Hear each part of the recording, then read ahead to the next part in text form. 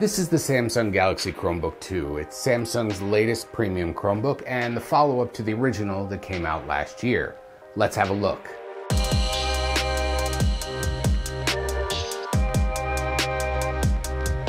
In a bit of an odd twist, Samsung actually dialed back on some of the features and components, making this sequel more affordable and it has much better battery life, but it keeps the same premium look and feel.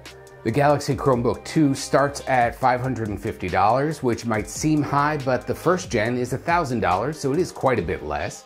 The original had a Core i5 processor, while the Galaxy Chromebook 2 base model gets you an Intel Celeron processor, 4 gigs of memory, and a 64 gig SSD. This $700 configuration that I used has an Intel Core i3 and twice the memory and storage, but it's otherwise the same as the base model. So aside from the components, what did Samsung jettison?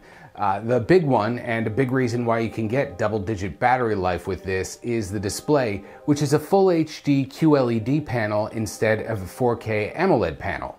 The AMOLED looks fantastic, but this one is nice looking too, and it covers 100% DCI P3 color gamut.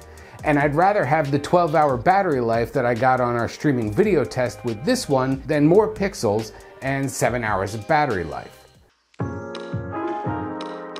The other biggest change is that Samsung removed the included S Pen from this one. Instead, uh, this supports USI pens, so if you want to draw or take notes on the screen, you'll have to buy a pen like this Lenovo USI pen. Since this is a two-in-one Chromebook, it is nice to have one, and Samsung says there's no plans to make a USI pen at the moment, but it should work with any of them. Along with the S Pen, Samsung removed the 13 megapixel world facing camera from above the left side of the keyboard and the fingerprint reader from the upper right corner of the keyboard. The fingerprint reader is nice, but you can use your phone to unlock Chrome, uh, so not the end of the world. And while the camera comes in handy on occasion for snapping pics of documents, it's not a must have.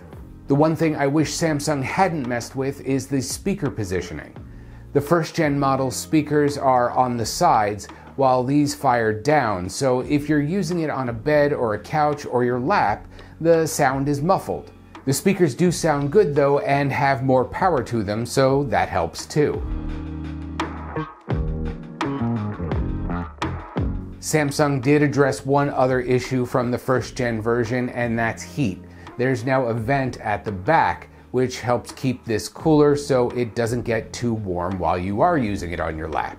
So that's a look at the Samsung Galaxy Chromebook 2. It's rare that a second gen device is actually better because there's less to it, but that's essentially the case here. If you're a full-time Chromebook user or a heavy user, I'd say it's worth it to go with the top configuration for 700 but uh, at 550, the base model should be fine for regular use, and it's still a nice looking premium package.